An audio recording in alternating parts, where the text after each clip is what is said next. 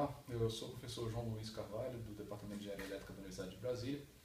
Eu estou aqui para convidar vocês para a minha palestra, que vai ser realizada nesta sexta-feira.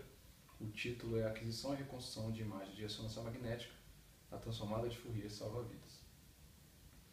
O objetivo da ressonância magnética é medir a concentração de determinado tipo de átomo em determinada amostra de material.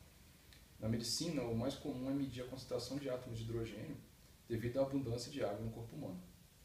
Assim, regiões com mais hidrogênio aparecem claras na imagem e regiões com menos hidrogênio aparecem escuras. A ressonância também é capaz de medir outros parâmetros de interesse, como a atividade cerebral e o fluxo sanguíneo, por exemplo. É capaz também de produzir vídeos, até mesmo em tempo real, e de medir a velocidade do fluxo sanguíneo. Mas como as imagens de ressonância magnética são formadas? O que se faz é usar campos magnéticos para fazer com que a frequência de precessão dos átomos de hidrogênio varie de acordo com a sua posição espacial.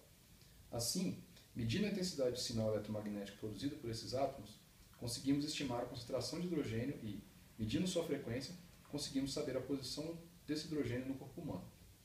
Mas como medir a intensidade e a frequência desses sinais? Bom, é aí que entra a transformada de Fourier. Na ressonância magnética, os dados medidos não são a imagem, mas sim a transformada de Fourier dessa imagem. Usando a transformada de Fourier inversa, aí sim obtemos a imagem. Mas as bases da transformada de Fourier são senos e cossenos, então, o que isso tem a ver com imagens?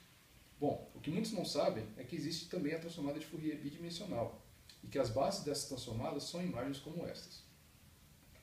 Bom, isso foi só um aperitivo do que vocês terão a chance de ver na, na próxima sexta-feira, dia 6 de junho, no auditório de engenharia elétrica. A palestra vai começar meio-dia e meia, mas a partir de meio-dia já vai ser servido um lanchinho para quem vier prestigiar. Um grande abraço a todos, espero vocês lá.